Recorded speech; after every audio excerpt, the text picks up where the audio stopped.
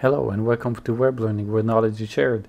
With today's video I'm starting a new series on how to do things easily with Linux. My first video is to show you how to install WSL, that is Windows Subsystem for Linux, and how to use Linux under Windows without installing virtual machine or anything else. Windows has a short tutorial, but sometimes it's better to see how things are done the right way. First things first, we need to install the Microsoft Windows subsystem for Linux.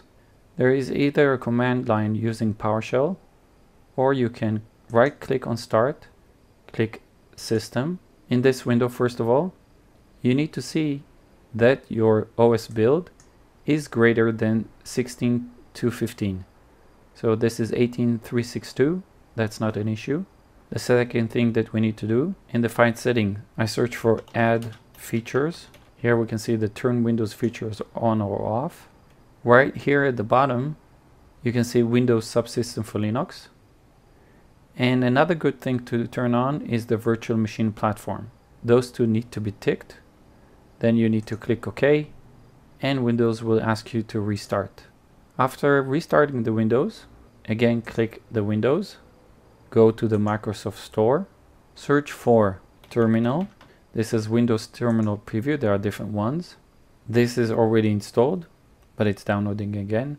The second thing you need to install is Ubuntu. There are different types of Ubuntu. I installed the regular Ubuntu and not LTS or anything else. And click install. After you've done all this, under the start menu, you'll have two icons. Usually they're here. You can right click and pin them to start for easy access.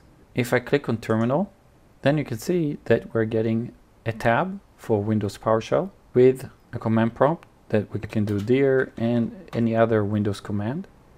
Here we have a small arrow that we can open Ubuntu or Azure or any or command prompt. If we click on Ubuntu, we can see that immediately we enter the C drive of the Windows machine.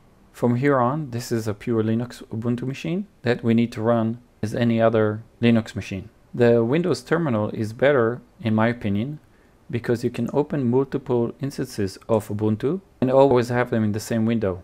I also find out that WSL is really fast. It doesn't have the overhead of virtual machines or any other PC.